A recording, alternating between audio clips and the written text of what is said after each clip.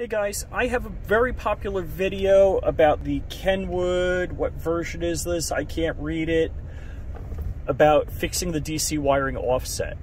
I'm going to show you how not to get a DC wiring offset. So what you do is, I will have the link in the description below. You get a solar panel for your car. The requirement is your uh, power port, cigarette lighter, can't be a switched one. It has to be running all the time.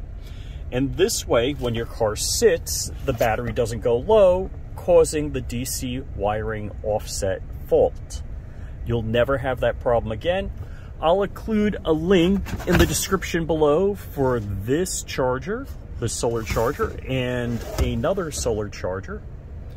But that will cure you from ever getting a DC wiring offset fault again.